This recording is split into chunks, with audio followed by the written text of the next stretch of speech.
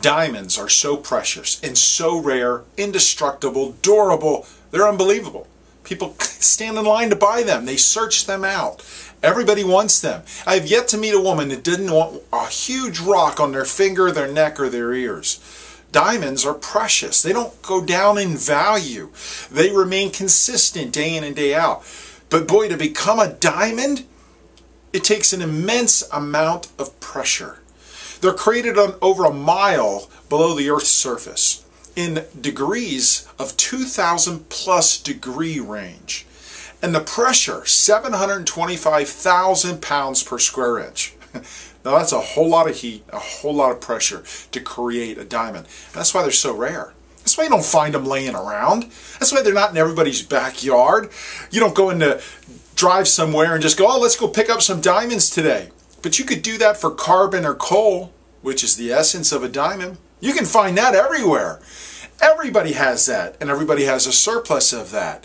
Nobody's standing in line for it, and I have yet to see a big lump of coal on a woman's finger being engaged and then showing it off to people. No, nobody's showing that off. Nobody's putting it on display. Nobody has that in their safe back home, only bringing it out on special occasions to share with the world because coal and carbon, it's a faceless entity. It's invisible. There's no value in it. There's nothing special. It's just average. No, we need it, but it's just average.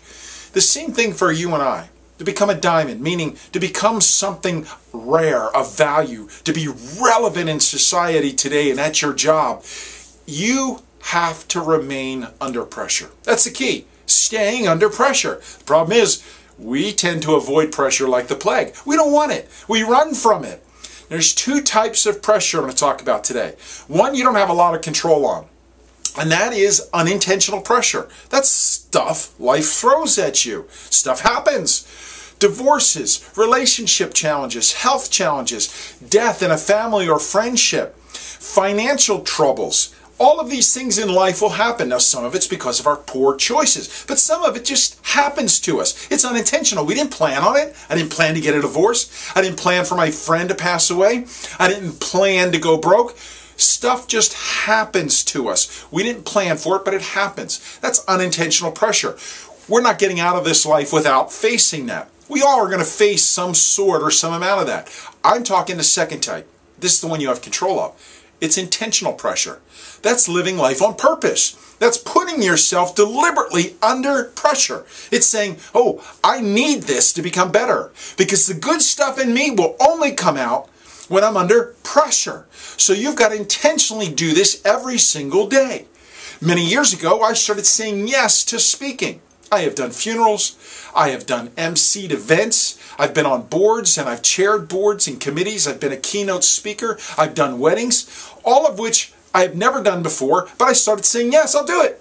Had no idea, and I had to figure it out. Pressure. I'm putting myself under pressure. I kept volunteering for things that are way outside of my comfort zone, way outside of my ranges of skill and ability, but I wanted to be intentional on life based on my goals. My goals were way up here, but I was way down here. I needed pressure to achieve that because I had to become something rare, something durable, something indestructible something of value, and that only comes from being under pressure.